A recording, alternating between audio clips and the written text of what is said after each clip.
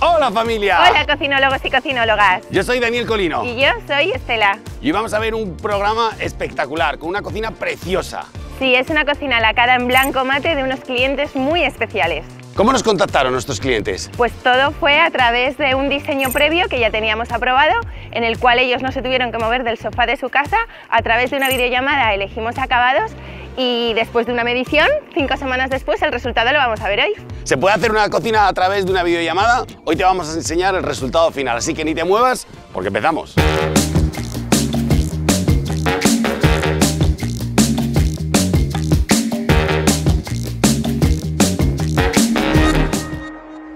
Este es el resultado final que os explicábamos de cómo se puede hacer una cocina a través de videollamada. Y es que ya sabes que si no consigues dar con el diseño que te gusta, si no tienes ese proyecto que te enamora, quieres tener una cocina con auténtico estilo CJR, es que es súper sencillo, utiliza el proyecto online. ¿De qué se trata? Te he dejado toda la información en el primer comentario y como siempre, si clicas justo aquí en esta tarjeta, te lo explicamos perfectamente en un vídeo. Así es, Dani, y además para todos los que no lo sepáis, tenéis la opción de videollamada con cualquier miembro del equipo o si no, una videollamada con Dani.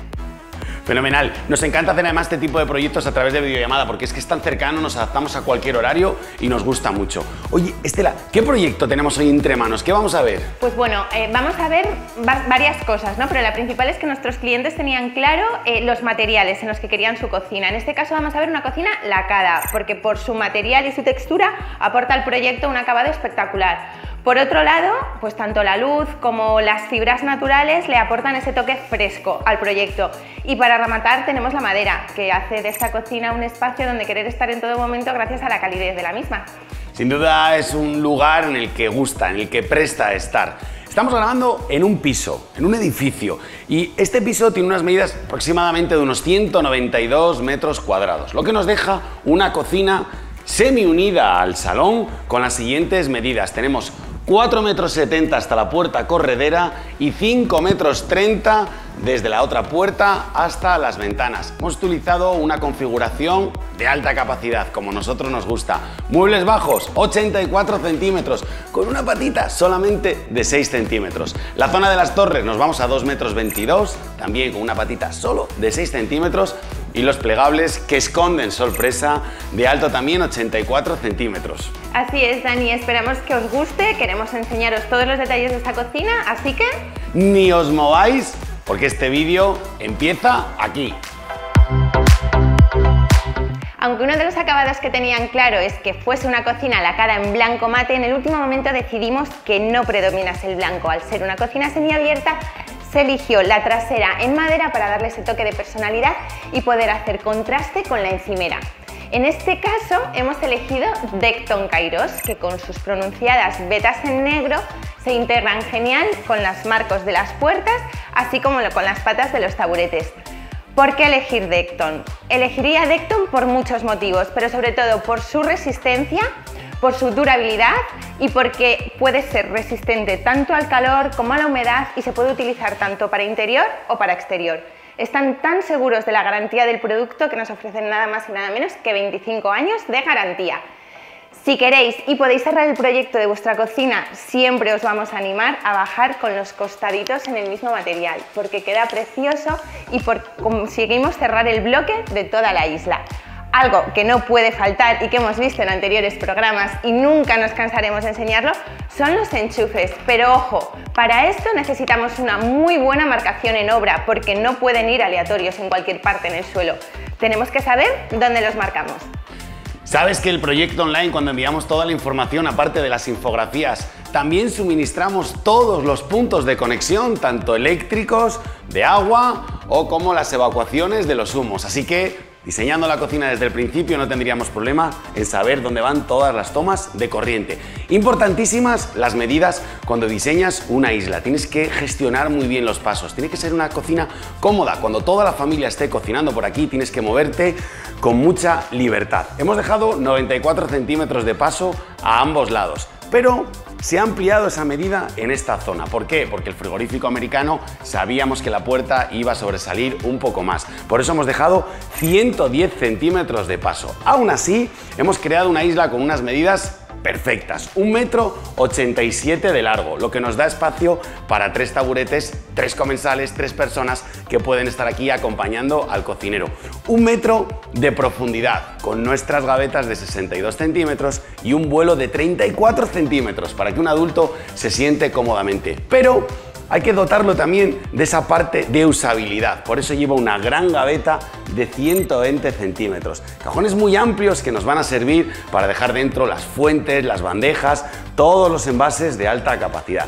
Y ya en el vídeo a principio del año 2022 sacamos nuestras tendencias, lo que pensábamos que iba a ser tendencia en este año y ya incluimos ese electrodoméstico que llega a todas las cocinas y es la vinoteca. Sabíamos que iba a ser pura tendencia en este año. Tener una vinoteca en tu casa siempre es un acierto para tener el vino muy fresco, Estela. Me encanta el tema de la vinoteca, pero si te has fijado, Dani, tenemos muchos elementos de fibras naturales que acompañan el espacio. Parece que textiles o fibras como el yute, el ratán, el bambú, solo se podrían utilizar en verano, pero no, podemos utilizarlos en cualquier estancia, en cualquier momento del año, porque siempre le van a dar ese toque de frescura a nuestro hogar. ¿Sabes algo que querían los clientes a toda costa, aparte de la vinoteca, cuando teníamos esas videollamadas? Una zona donde guardar todas esas botellas sería este rinconcito. Me encantaría que nos lo explicases. Se diseñó en el proyecto una zona para que tengan el vino aquí bien colocadito y prácticamente expuesto, podríamos decir, con nuestros botelleros de altura 84 centímetros. Quiero decir, tiene la misma altura que los muebles bajos, se podrían integrar en cualquier parte de la cocina, en la zona de los muebles bajos. ¿Cuál es lo bueno? Miden 30 centímetros, dejan espacio para dos botellas. Son 12 botellas por cada mueble, por lo tanto aquí tenemos 48 botellas, creando además así una zona superior con una encimera para poder colocar aquí si llegas con las llaves de casa o con cualquier pequeño accesorio de cocina. Sí, era algo que nos apetecía muchísimo y dentro de todo el espacio fue el mejor rincón donde conseguir ubicarlo y aprovechamos el total de la pared y la semiencimera para que así pudiesen apoyar cosas encima de la misma. Ahora nuestros clientes tienen un espacio para dejar el vino de reserva y también el vino frío.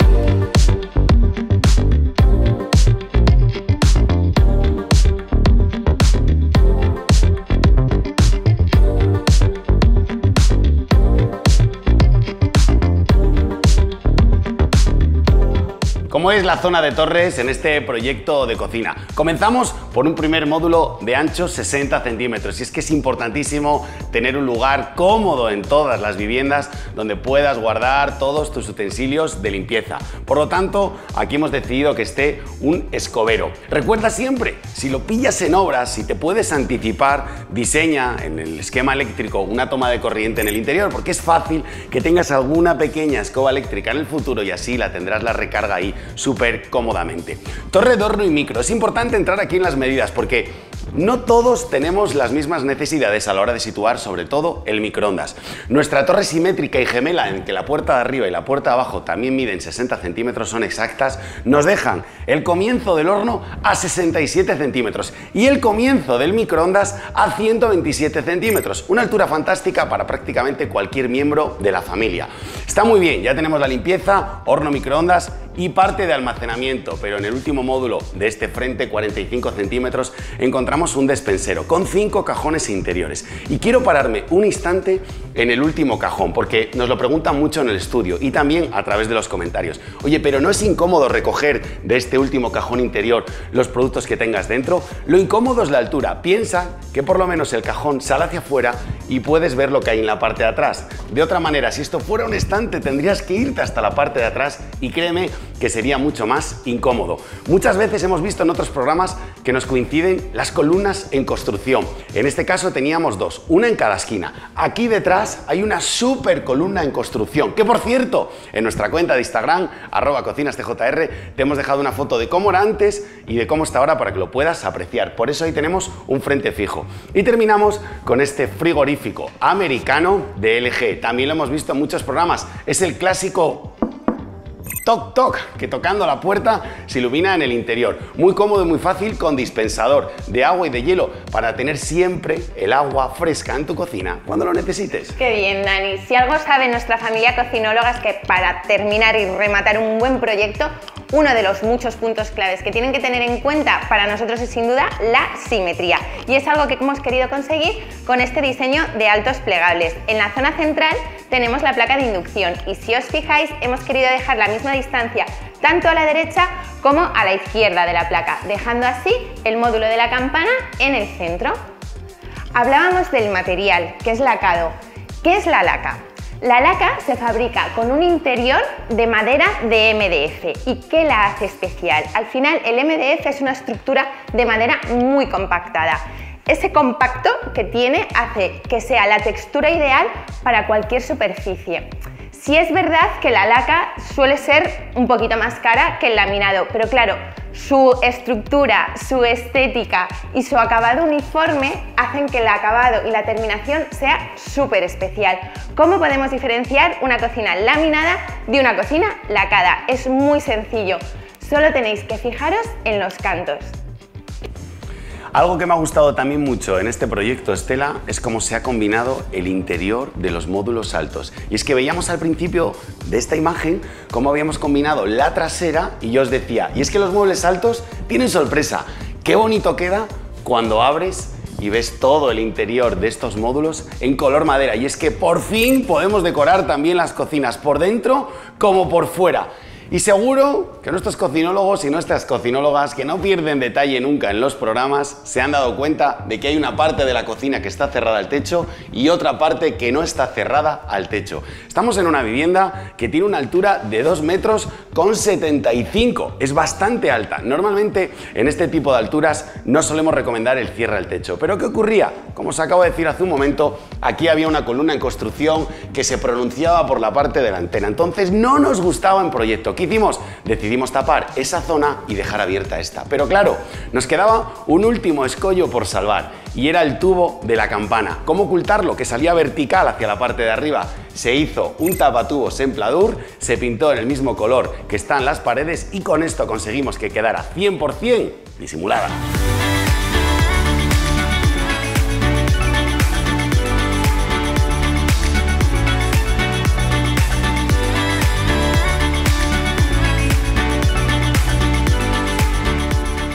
Cuando la cocina está al lado del salón, se genera siempre el eterno debate. ¿Qué hacemos? ¿La unimos? ¿No la unimos? Si la unimos, ¿lo separamos? ¿Dejamos alguna perfilería? ¿Cómo solucionamos esto? ¿Cuántas veces nos han preguntado esto en el estudio? Infinitas, Dani. Por eso cuando hemos entrado a la cocina terminada y hemos visto la solución que los arquitectos María y Nacho han propuesto a nuestros clientes, me ha encantado. Ellos tienen el estudio de arquitectura Lumbier y han decidido cerrar la cocina de nuestros clientes con estas guías invisibles Klein, de tal manera que ellos deciden cuándo quieren aislarla y cuándo no al resto de la vivienda. Algo que me encanta de estas guías es que por la parte de arriba son prácticamente invisibles y abajo hay ausencia total de raíles. Con esto puedes transitar fácilmente de una estancia a la otra. ¿Qué medidas tiene todo este hueco? Cuidado, ¿eh? es un hueco bastante ancho. Estas puertas están hechas a medida. Cuatro piezas que completan un espacio de 3 metros 80. Dos fijos a cada lado de 95 centímetros. Y ayúdame, Estela dos puertas móviles también de otros 95 centímetros. Y ahora quiero contarte una solución de Nacho que me ha encantado. Por la parte de fuera, un asa, un tirador completo para poder abrir con seguridad. Pero ¿y qué ocurre por la parte interior? ¿Cómo hacer esto sin manchar? Han diseñado esta solapa con, con un pequeño giro en 90 grados para poder abrir y cerrar cómodamente estas puertas y así no tener que mancharlas. Por cierto, Estela, ¿sabes que estos están diseñadas, estas puertas están diseñadas en metal, que las vemos lacadas en negro, que con la madera es un éxito rotundo, pero que se podrían lacar en cualquier color, ¿eh? Así es, las hemos visto lacadas en negro, lacadas en blanco, e incluso en nuestra última visita a Milán y Eurococina las hemos visto lacadas en oro rosa y quedaba espectacular. Otra de las claves para cerrar nuestra cocina y que también tiene el sello de María y de Nacho es este suelo de porcelánico con forma de espiga. Tiene unas medidas de 10 por 70 y es resistente tanto a los rayones como a los impactos y también podría servirnos si tuviésemos un suelo radiante en ella. Teníamos un pequeño problema que no os hemos contado y es que aunque el proyecto de cocina y el diseño estaba totalmente cerrado y aprobado desde el principio, en el último momento aquí no hubo suelo radiante y teníamos este radiador. La cocina originalmente terminaba aquí, entonces decidimos taparlo y solucionar el problema de que no quedase tan visible con esta barrita. Elegimos para la barra la misma madera que os enseñábamos al principio para la trasera de la isla y de esta manera hemos creado un mini office delante de la ventana que nos sirve tanto para el pequeño electrodoméstico como para un desayuno rápido. Es un espacio perfecto, concreto, pequeño, 1,90 de largo, 35 centímetros de profundidad para que se siente cómodo un adulto y así creamos dos zonas, dos estancias para esta familia. A continuación de la barra comienza el bloque, la zona de aguas. Pero antes, qué importante es el almacenamiento. Yo no sé, yo creo que lo digo en todos los programas, pero no me cansaré de recomendarte, de decirte que si puedes, que si tienes la oportunidad, siempre coloques nuestros famosos cajones interiores, porque el acceso a todos los productos que tengas dentro va a ser mucho más cómodo. Siguiendo la simetría, nos gusta 60 y 60 centímetros para el lavavajillas y en este caso un mueble bajo fregadero de 80 centímetros. Grande, con suficiente profundidad y con tablero marino en el interior para dejar dentro todos los productos de limpieza. Y claro, muchas veces diseñando nos coinciden delante las ventanas. Es que es algo normal que nos coincidan delante de la zona del fregadero. ¿Cómo resolvemos esta problemática? Con nuestro grifo plegable. Simplemente abatiéndolo hacia abajo deja espacio libre para que la ventana pueda abrir cómodamente. Y otra cosa importantísima, Estela, ¿cuántas veces se utiliza el jabón cuando estás en casa? Infinitas. De hecho, tenemos clientes que hasta nos piden dos dosificadores de jabón. Yo te propongo que te olvides de sacar todo el tiempo el bote de jabón para tener que utilizarlo. Coloca un dosificador y así será mucho más sencillo el uso del jabón. Sí, como pillamos esta cocina de obra y totalmente en, en blanco, lo que decidimos fue que no se iba a alicatar. Todas las paredes han ido pintadas y teníamos que proteger de alguna manera la zona de cocción. Para eso, una solución que vemos siempre en los vídeos. Podemos poner el mismo material que la encimera, como hemos hecho en este caso, eh, estábamos hablando del Decton, y así protegemos toda la zona de cocción. En otros proyectos hemos visto frentes en madera, hemos visto frentes en cristal o incluso frentes en vinilo. Pero esta solución queda muy bonita porque continuamos encimera y frente en un mismo bloque. Otra cosa súper importante en cualquier proyecto, tanto de cocina como de interiorismo, la iluminación. No puede faltar. Por eso nuestros clientes en el momento que les ofrecimos la oportunidad de introducir iluminación debajo de sus armarios, no lo dudaron. La luz LED nos baña la encimera y a la hora de pedir la cocina tenemos que tener en cuenta en qué armario queremos ponerla. En este caso se eligió el armario de la derecha por su proximidad hacia la puerta.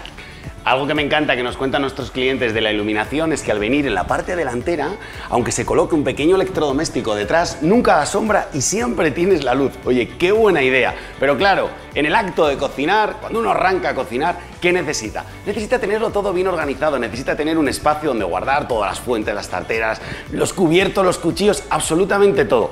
Por eso se diseñaron estas dos grandes gavetas de 120 centímetros. Qué maravilla, ¿verdad? Arrancar, empezar a cocinar teniéndolo todo súper bien organizado. Con la alta capacidad no tendrás problema para guardar grandes fuentes y bandejas. Las gavetas de la parte inferior, a nosotros nos gusta decir que están reservadas para las ollas y las cazuelas. Seguro que en alguno de nuestros otros programas has visto nuestro separador de tapas, que tiene un montón de usos, Estela. Yo he visto cómo lo utilizan para separar y colocar tapas colocar sartenes, incluso colocar tablas de cortar. Me parece que la organización en una cocina es fundamental. Así es, es muy importante el orden, la belleza, la limpieza y que la cocina esté al servicio de toda la familia. Así que por favor, funcionalidad siempre. Oye, me ha encantado este proyecto, ¿eh? chulísimo, tiene de todo. Una zona para dejar el vino, un frigorífico americano con el sistema Tok Tok, grandes gavetas por todos los lados y cajones interiores. Enhorabuena a nuestros clientes, enhorabuena al equipo de diseño de CJR por este proyecto tan bonito y enhorabuena por la composición tan chula de colores y acabados en esta combinación. Yo solo quiero dar las gracias desde aquí a nuestro cliente, a su familia. Esperamos que esta cocina les regale momentos maravillosos, que la disfrute tanto con sus hijos como con sus nietos y agradecer lo amable que ha sido en todo momento con nosotros. Ahora mismo os vamos a dejar con unas imágenes con todos los detalles de este proyecto que no te puedes perder y si quieres terminar con una sonrisa, quédate para ver las tomas falsas. Oye, a mí me ha encantado presentaros este proyecto, lo he disfrutado mucho con tu compañía, Estela. Muchas gracias, Dani. Yo soy Daniel Colino. Y yo soy Estela. Y nos, vemos, en, el, próximo vídeo. ¡Adiós!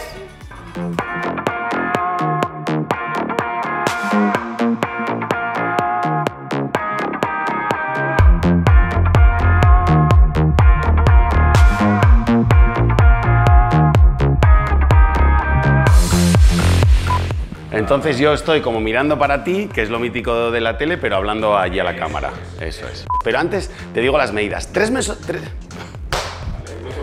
Vale. Tra, tra, tra, tra, tra, tra, tra, tra, tra. Y aparezco cuando el suelo. Está en el suelo. Creo que sería... Perdón. Manuel. Canta, Eh, échalo, échalo. La misma opción. Si dudas, no lo hagas. y no mare. Cuando hemos entrado en la cocina y hemos vido, vis- vido, Vido del verbo ver. vido. Hemos vido.